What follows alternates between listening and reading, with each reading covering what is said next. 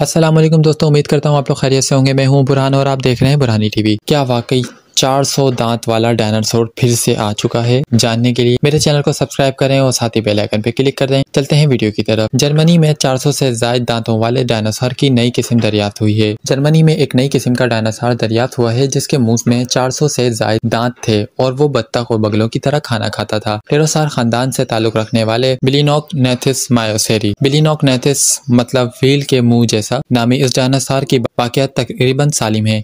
ये बाकिया जर्मनी की एक रियासत बेरियन की एक कान से हादसाती तौर पर इस वक्त दरियाफ्त हुई, जब साइंसदान चूने के बड़े बड़े पत्थरों की खुदाई कर रहे थे, जिनमें मगरमच्छों की हड्डियाँ मौजूद थीं। अठारहवीं सदी में पहली बार टेरोसार दरियाफ्त होने के बाद से इस जगह से उड़ने वाले इस डायनासार की सैकड़ों बाकियात दरियाफ्त की जा चुकी हैं।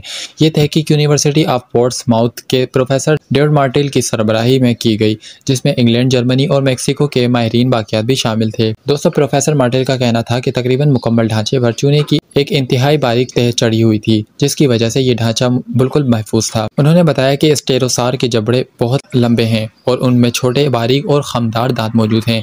इन दांतों के दरमियान बारीक कंगी की तरह खला मौजूद है। उनका यह भी कहना था कि इसके जबड़े एवोसेट नामी परिंदे की चोंच की तरह ऊपर को मुड़े हुए हैं और आखिर में स्पोन बिल परिंदे की तरह फैल जाती है। इसके मुँह के आखिर में कोई दांत नहीं लेकिन इस, इसके अलावा दोनों जबड़ों में पीछे तक दांत हैं। ऐसी और मालूम के लिए जुड़े रहिए बुरहानी टीवी के साथ। अगर मेरी वीडियो पसंद आई हो तो एक लाइक ज़रूर कर दिएगा। मिलते हैं नेक्स्ट वीडियो में। जब तक के लिए अल्लाह हाफिज।